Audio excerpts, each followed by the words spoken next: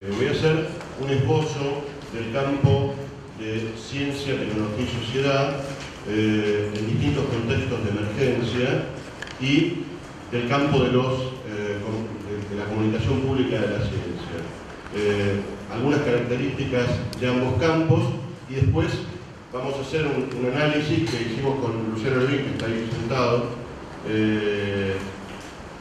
sobre distintos congresos de ciencia, tecnología y sociedad y el papel de la comunicación pública de la ciencia en esos congresos para tratar de extraer de ahí algunas, eh, algunas preguntas.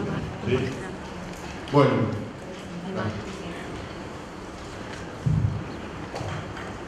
bueno, esperaba un recibimiento cálido, pero no, tan caluroso. ¿eh? bueno, voy a tener que leer todo lo que dice, ¿no? Emergencia de los estudios CTS en diferentes contextos. Ahí hay tres flechitas. ¿eh? Y ahí a la izquierda dice Estados Unidos, Europa y América Latina. Entonces, ¿cómo, surgen los nuevos campos? ¿Cómo, surge el campo de ciencia, tecnología y sociedad? No existía de toda la vida. Eh, incluso esto de poner en relación la ciencia y la tecnología también es una cosa relativamente novedosa. Es algo de los años 30 en Estados Unidos, en un libro clásico de Robert Merton que se llamó Ciencia, Tecnología y Sociedad en Inglaterra del siglo XVII. La verdad es que hasta ese entonces pensar en la ciencia y la tecnología como partes de un mismo paquete era algo eh, completamente impensado. La ciencia pertenecía a un conjunto de saberes en búsqueda de una verdad, aplicando un método racional, etc. La tecnología era la aplicación a sistemas productivos de diferentes técnicas, pero no tenía nada que ver una cosa con otra. La cuestión de pensar que ahí hay un, hilo conductor que pasa por la noción de conocimiento, de saberes, que responden a ciertas lógicas, que están inmersos en un contexto social, es nuevo. ¿Eh? Bueno, nuevo, es de los años 30, pero no del, siglo XV. En los años 40, 50, en Estados Unidos se desarrolla bajo, el paraguas del funcionalismo, eh, sobre todo con la idea de proteger a las ciencias, eh, ¿protegerlas de qué? Bueno, piensen en los años 40, ¿no? Piensen en la guerra, piensen en eh, la cantidad de exiliados este, alemanes que estaban llegando perseguidos por eh, el nazismo. Piensen en la idea de que hay una ciencia oficial y una ciencia espuria en Alemania y este, frente a eso y también frente a la intervención de la ciencia soviética, en el conocido caso Lysenko, donde se estipula que cierto tipo de investigación, en particular la investigación en genética mendeliana, es burguesa y antirevolucionaria, y por lo tanto prohibida durante 30 años en la Unión Soviética. Frente a eso, estos tipos en Estados Unidos enarbolan, digamos, en el estudio de la ciencia la noción de autonomía, que la ciencia debe ser un espacio autónomo, protegido, de gente tan simpática como Hitler y Stalin, y debe ser autorregulado. Es decir, no solamente tiene que ser autónomo, sino que además tiene que regularse y dictar sus propias normas. En Europa, por el contrario, este campo surge y se consolida unos 15 o 20 años más tarde, a partir de, digamos, los años 60 y sobre todo los 70, donde ya la idea no es de protección, sino de cuestionamiento. En Europa, en los años 70, se empiezan a cuestionar esta relación entre ciencia y capitalismo, entre ciencia y degradación del medio ambiente, entre ciencia y consecuencias sociales no deseadas, entre procesos intensivos de conocimiento que son exclusivos en, términos sociales. Eh, todo este paquete, digamos, de cuestionamiento de la ciencia, que además viene acompañado por un movimiento epistemológico, la ciencia como, única, como único fundamento de verdad. Si ustedes quieren, epistemológico político. ¿sí? La ciencia no es la única fuente de verdad y tampoco es la única fuente de legitimación del Estado. Ese contrato uno podría situar en el, siglo XVII en Inglaterra, entre Newton y el rey de Inglaterra, ese contrato entre ciencia y Estado en los años 60-70 se empieza a cuestionar y finalmente se rompe. Y eso da lugar a lo que nosotros llamamos en, el campo de ciencia, tecnología y sociedad es la perspectiva constructivista que va a cuestionar la ciencia como lugar de verdad, se va a meter a estudiar no lo que los científicos dicen que hacen, sino lo que realmente hacen adentro de sus laboratorios y van a, digamos, esta, esta metáfora de que hay que estudiar a los científicos como si fueran una tribu africana. ¿sí? No tienen un lugar de verdad diferente, están regidos por creencias. Las creencias son una práctica social y de lo mismo se ocurren en un laboratorio de Harvard o en los Bantús. Y finalmente, en América Latina, los años 60 y 70, donde siempre todo es más complicado. De modo que le vamos a dedicar un par de slides. La primera tensión que surge en América Latina en estos años tiene que ver con, por un lado, fíjense, en América Latina tenemos las dos cosas. La, perspectiva más propia de Estados Unidos, esto es la protección de la ciencia débil, eh, en Estados Unidos no era exactamente de ciencia débil, sino de, ciencia amenazada. En América Latina es, nosotros no somos iguales que Alemania, que Estados Unidos, eh, necesitamos protegerla a la ciencia porque todavía es, este, es, muy, es, muy, débil y la tenemos que ir fortaleciendo. Versus un cuestionamiento de ciencia igual, capitalismo y desarrollo. ¿Eso se llega a leer? Una vez que yo se lo digo, ciencia igual desarrollo capitalista, ¿sí? desarrollo industrial, es decir, imaginar otro tipo de ciencia no asociada a este modelo productivo. Y esta es, digamos, la primera tensión que uno observa en los años 60, en textos más o menos clásicos como el de Oscar Barzaki por un lado, y el de, para poner dos ejemplos así muy emblemáticos, y el de Gregorio Klimovsky por otro, donde Klimovsky va a defender la idea de una ciencia débil y Barzaki en su ataque al científico va a hablar de una ciencia capitalista. Sí. Siguiente tensión entre ciencia para el desarrollo y ciencia para la revolución. Piensen, ubíquense en los años 60, ¿sí? no hoy. En los años 60 la revolución era una cosa que estaba a la vuelta de la esquina y que simplemente tenemos dos caminos, o sentarnos a esperar que llegue o este, ayudar a que llegue antes. Esta, era la, no, solamente de los actores de América Latina, sino incluso de una declaración de, Robert Kennedy, que en esa época era eh, ministro de, Estados Unidos, el hermano de, John, este, que dice la revolución en América Latina es inminente. Lo único que nos tenemos que preguntar es qué vamos a hacer cuando ocurra. ¿Sí? Esto dicho por el tipo que tenía más poder en Estados Unidos en el año 63. Ahora, la, discusión es si la ciencia, tal como existe hoy, sirve para el proceso revolucionario o no. Y hay todo un debate que, no me puedo meter ahora porque es muy, muy, muy divertido, muy interesante. Divertido si uno lo pone en el contexto, ¿no? deprimente si uno lo mira de peor. Versus ciencia para el desarrollo, finalmente es la perspectiva que se va a imponer, donde la, noción básica es los países desarrollados son los que tuvieron más eh, intensidad de investigación científica, de modo que la investigación científica es un motor del desarrollo. Esto se acerca bastante al pensamiento mágico, no puedo ahora eh, ahondar en detalles, pero nunca queda, eh, nunca queda completamente especificado de qué modo tener muchísima investigación científica opera efectivamente en el modelo de desarrollo. Hay toda una serie de mediaciones que aparecen ocultas. ¿eh? Y es justamente en esas mediaciones donde, donde, está la cosa más interesante. Y por otro lado, dentro de, las propias perspectivas marxistas, eh, radicales, digamos, eh, están aquellos que cuestionan el papel de la ciencia en la, sociedad, al estilo de lo que había hecho John Bernard en Inglaterra unos, años antes, pero que no cuestionan los modos de producción de conocimiento sino el modo en que la sociedad se apropia de esos conocimientos. Versus otros que van a decir, hay que cuestionar las dos cosas, porque las dos cosas no están desligadas.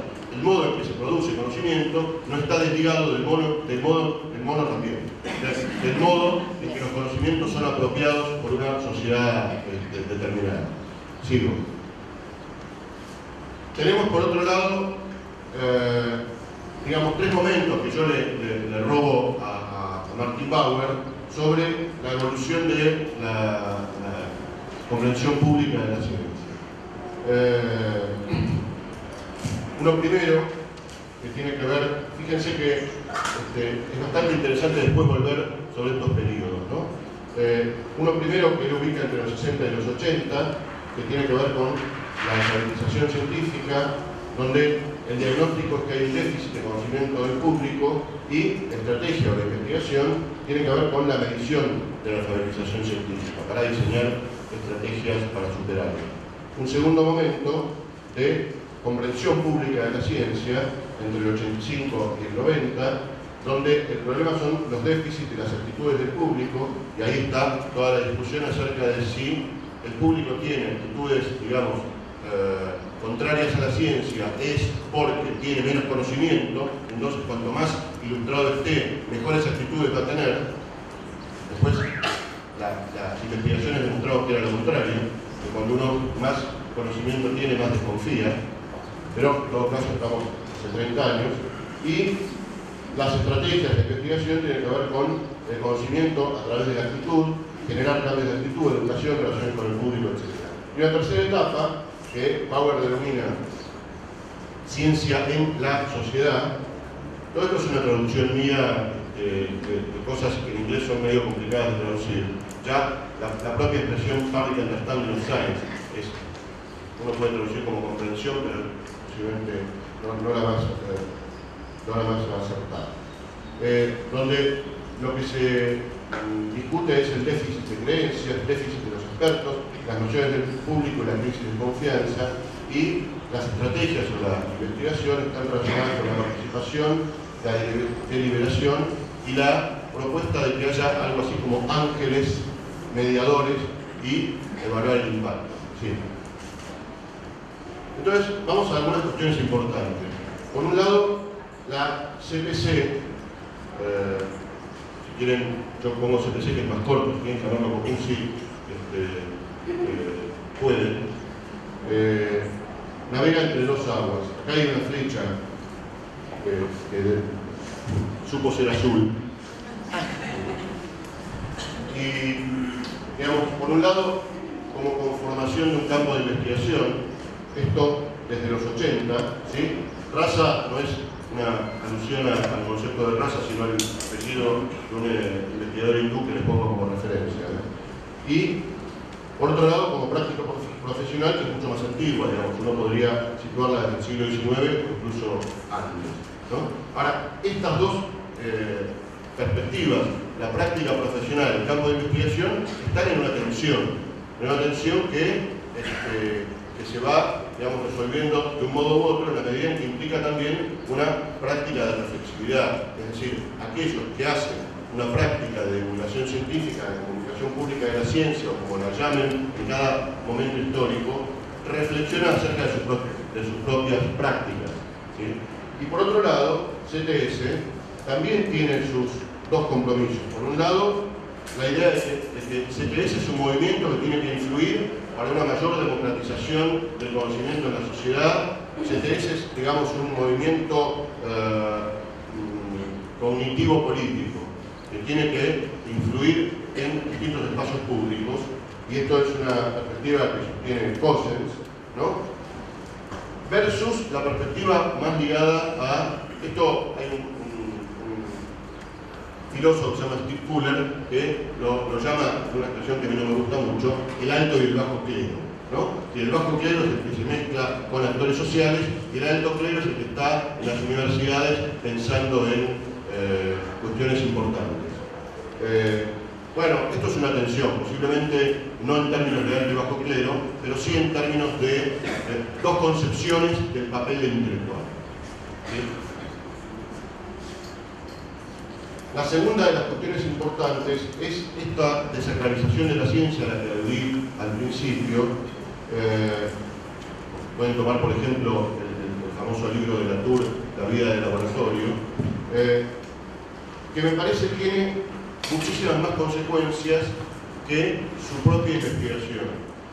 está abriendo un camino donde, al margen de las propias ideas de la Tour, al margen de sus propios métodos, lo que está haciendo es abrir un camino donde el lugar de verdad no solo puede ser cuestionado desde afuera, sino que, eh, como digamos, posición político-cognitiva, debe ser investigado. Se constituye la construcción de una verdad se constituye en objeto de estudio. Y esto abre el camino no solo para investigaciones de tipo antropológicas, etnográficas como la de la TUR, sino que abre el camino para todo un nuevo modo de repensar la relación entre ciencia y sociedad. Entonces, bueno, esto te lo voy a leer porque es una letra encima de que está clarito, muy, con letras chiquitas, pero entre otros factores de época, la emergencia de los estudios CTS, al, al desacralizar la ciencia como algo esotérico, permitieron discutir y poner en cuestión el modelo de déficit y generar la idea más amplia de CTS, o de Understanding of Science.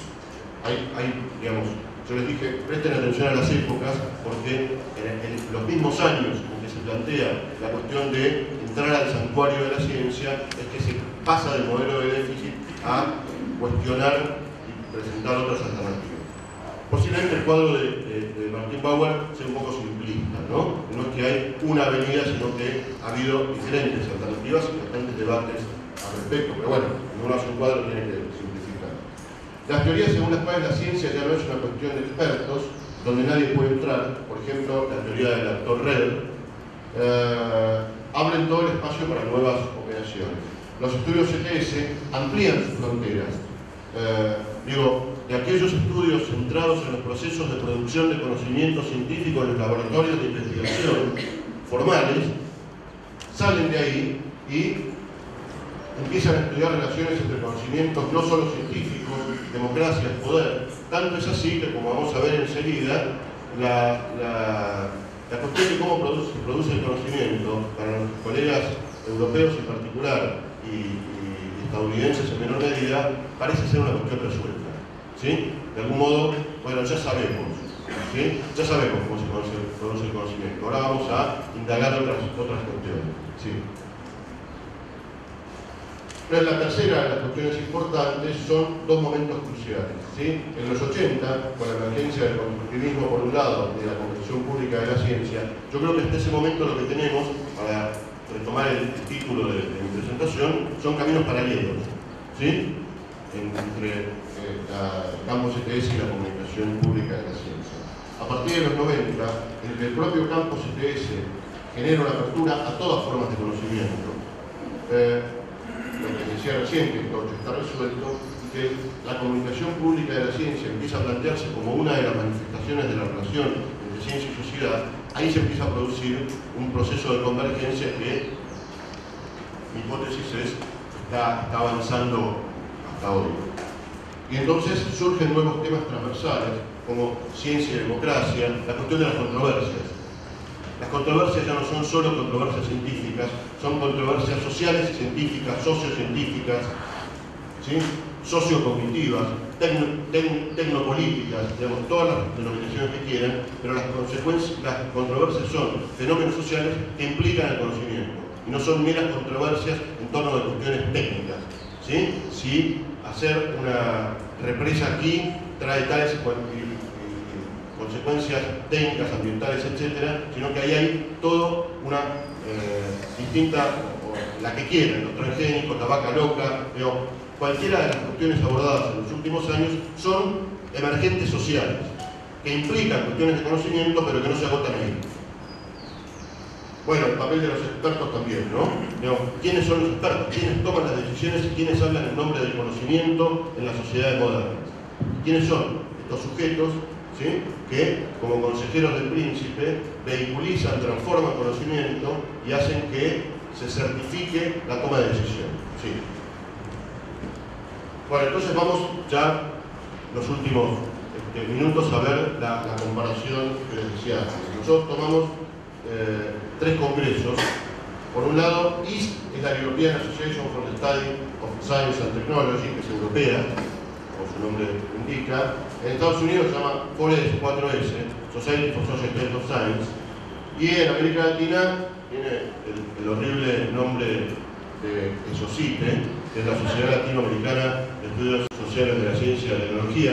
Siempre todo lo hacemos mucho más complicado. ¿no?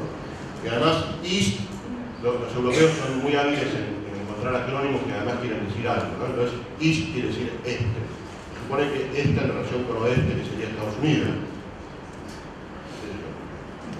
Es, de su suponer. Eh, eso sí, en cambio, tiene nombre de remedio, ¿no?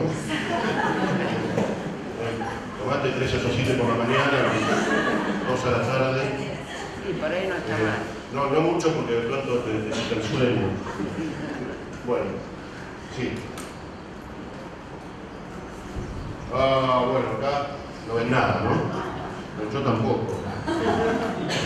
A ver, esto es, me acerco un poco para ver si, lo logro descifrar. Esto.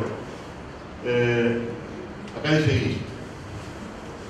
Eh, realiza un congreso cada dos años, ¿sí? los europeos, pero cada cuatro lo hacen junto con los americanos. ¿sí? Que entonces, al tomar los congresos de IS, tomamos los que hacen solos los europeos y los que hacen los europeos con los americanos cada cuatro años. Y acá tenemos la cantidad total de ponencias. 576, bueno, cuando suben, acá hay 1000, 1002, 962, 1221, quiere decir que son conjuntos. ¿Sí? IS y eh, FORES. Cuando, cuando están acá, con menor cantidad, siempre va a ser cada cuatro años, son los que hacen solos. Sí. Pero para, para que tengan una dimensión. Esto lo ven mucho menos todavía. Eh, esto es interesante porque acá están en, en, eh, en los congresos de, de ICH la lista de temas, ¿no? Acá sí que no. no- A ver. ¿Vos llegás a leer eso? Viste, me, me, me canceleaba. A ver, bueno, acá dice Science and Technology Studies, Sociology, bueno, estudios de ciencia y tecnología, sociología. La cuestión es que acá, en el puesto anteúltimo, 17 y 18, están los estudios de comunicación, ¿sí? En estos congresos de los europeos. Esto es entre el 83 y el 88. ¿sí? Entre el 94 y el 2000 ya subieron ¿sí? en la tabla, ganaron más partidos de visitante y están 14 de 18 temas. Y en, la, y en, la, en el último periodo que se contó, yo les puedo decir que el siguiente, que sería el de 2008 hasta aquí, eh, subió un poco más todavía. Ya está 12 de 18 en la lista de temas. Con lo cual, lo que uno primero este, puede constatar es que en los congresos europeos las cuestiones relacionadas con la comunicación de la ciencia están adquiriendo cada vez una mayor presencia. Pero veamos qué tipo de presencia. Primero, esos sitios, ¿sí? Bueno, acá tampoco ven mucho. Estos son los congresos, primero en Buenos Aires, Caracas, eh, México, Río, bueno, en fin. Nada, sería un- una visita turística a capitales latinoamericanas. Eh, y ahí tienen la, evolución de la cantidad de ponencias. Sí. Se hace un congreso cada dos años. Acá, en los congresos de IS y 4S, lo que medimos es la cantidad de trabajos pertenecientes a comunicación pública de la ciencia, sino no solo los que están dentro del, del área de estudios de comunicación. Y esta eh, observación es interesante, ahora, ahora les explico por qué. Fíjense en eh, los, los, rojos, los azules son conjuntos Sí. los rojos son europeos solos y los azules son eh, cuando se hace conjunto con Estados Unidos. Entonces, en principio, lo que ustedes ven, los numeritos ahí flotando ¿no? en, en ese vacío de la pantalla, 79, 81, 73, 99, son la cantidad de trabajos dentro del campo CPC que se presentan en los congresos eh, conjuntos. Obviamente son más porque la cantidad de presentaciones es mucho mayor. Sin embargo, sí. Cuando, cuando uno lo, lo ve acá, encuentra que el porcentaje de trabajos es mucho mayor cuando no se hace con Forest, es decir, con los americanos.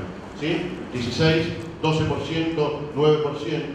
Cuando el Congreso es conjunto, ¿sí? entre Estados Unidos y Europa, la cantidad de trabajos de comunicación pública es menor, en proporción. Es mayor en términos absolutos, es menor en porcentaje. ¿Por qué? ¿no? Bueno, ahora enseguida vamos a, a explicarlo. Sí. Vale, dale. Sí. Vale. Bueno, nada, ahí les- suponiendo que ustedes lo iban a ver, entonces los, los salté con circulitos de color.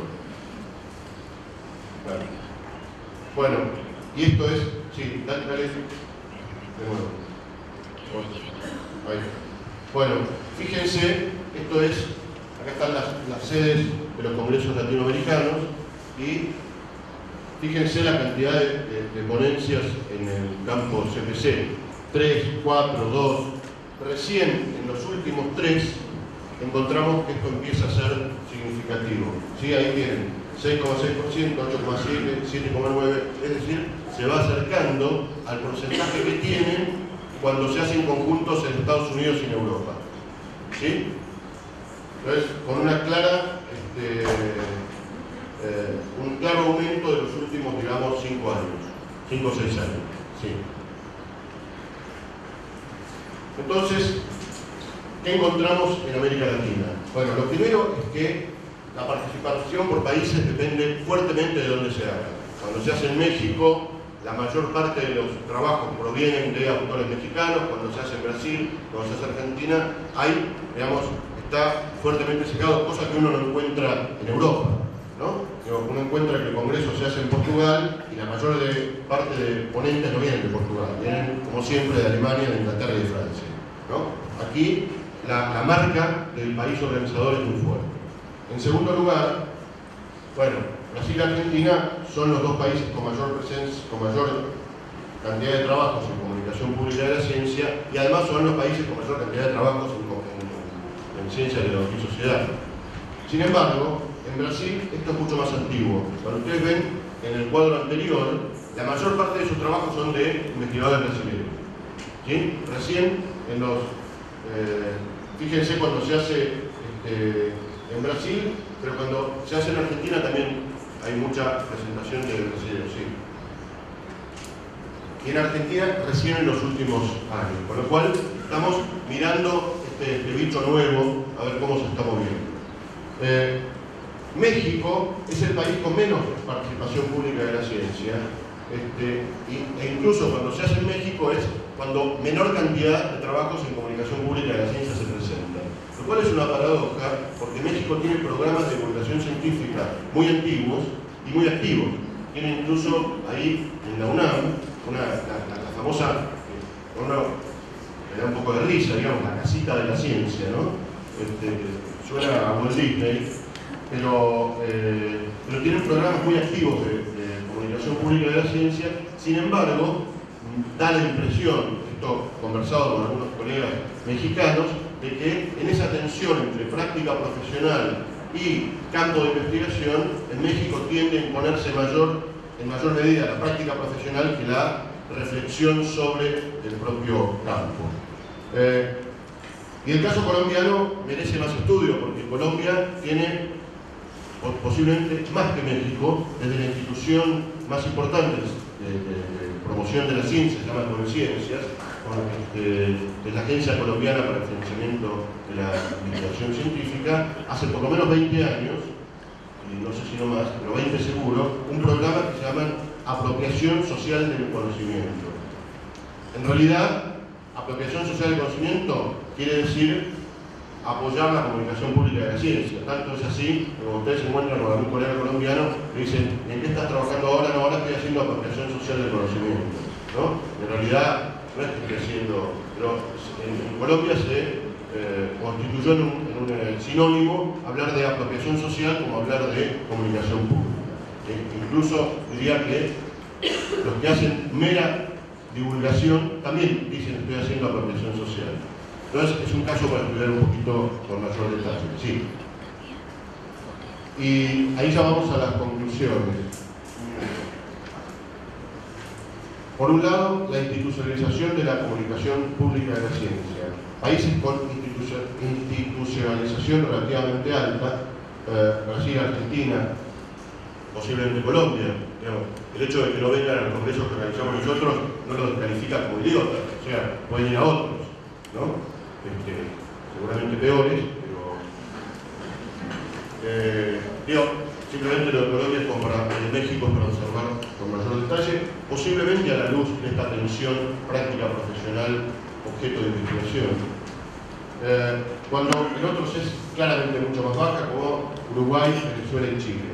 Países con más historia, como Brasil y Colombia, posiblemente México, pero en uno de los sentidos. Eh, claramente la participación de Brasil aumenta el porcentaje de presentaciones y de trabajos sobre comunicación pública de la ciencia. Es claramente el país donde hay mayor discusión, debate público sobre estas cuestiones.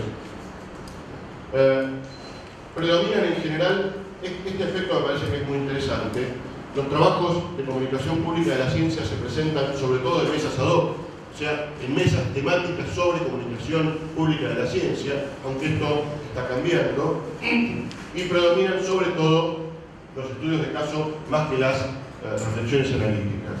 A diferencia de otros campos vecinos, como la enseñanza de la ciencia, eh, los trabajos de comunicación pública no parecen verse directamente interpelados por el campo ciencia, tecnología y sociedad. En cada congreso de SOCITE tenemos que rechazar 800 trabajos sobre educación de la ciencia porque eh, acuden, digamos, en masa, ¿no? Sin embargo, la gente que se dedica a comunicación de la ciencia parece verse menos atraída, aunque esto en los últimos dos eh, parece estar cambiando. Sí. La presencia en, en IST, ¿sí? en los europeos y, americanos, la, presencia de SPC se manifiesta tanto en un número considerable de mesas específicas, pero además, y esto me parece que es interesante, en temas de comunicación pública en el resto de las mesas.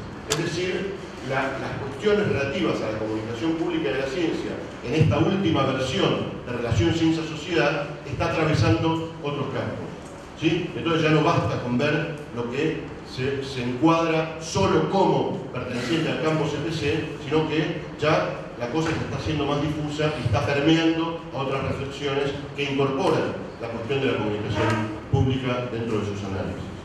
Y eh, esto claramente está ocurriendo mucho más en Europa que en Estados Unidos, donde Estados Unidos todavía la cuestión de la comunicación pública de la ciencia está relativamente afuera del campo CTS. ¿Sí? En esto que veíamos de los congresos conjuntos de Europa, eh, eh, Estados Unidos y, los que hacen solos. Sí, yo creo que está último. Uy, esto es terrible.